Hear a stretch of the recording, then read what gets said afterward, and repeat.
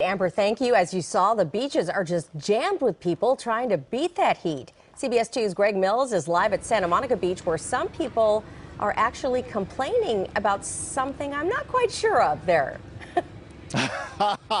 Elsa, that would be that it's too cold. Not talking about the air temperature. My phone has indicated all day that we're at Zuma and down here in Santa Monica, 77, 79. Not too bad. That's great. But they're complaining about the water being too cold. I checked with lifeguards. It's 64 degrees. Ocean Boulevard in Colorado, packed. The Santa Monica Pier, packed all heading to the beach. The Molina family drove in from Duarte. I saw like the cars like 100 degrees. The Asuncions hit Zuma Beach this morning from Agoura Hills. We left there uh, 87 degrees around 10:30. Everybody heading to the beach today to beat the heat. The pro- most perfect way to spend is like at the beach. It seems like just about everyone in Southern California felt the same way. I mean, seriously, everyone.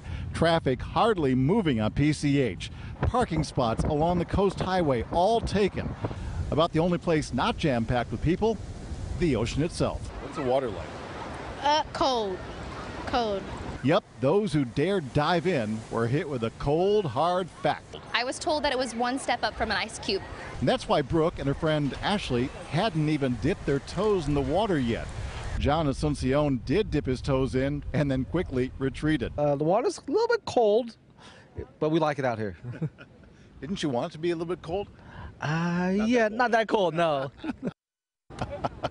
yeah, so they all come out here because they're too hot and then it's just too cold in the water. Talking to the lifeguards today, they said there were rip current problems and they had to do some rescues along the way.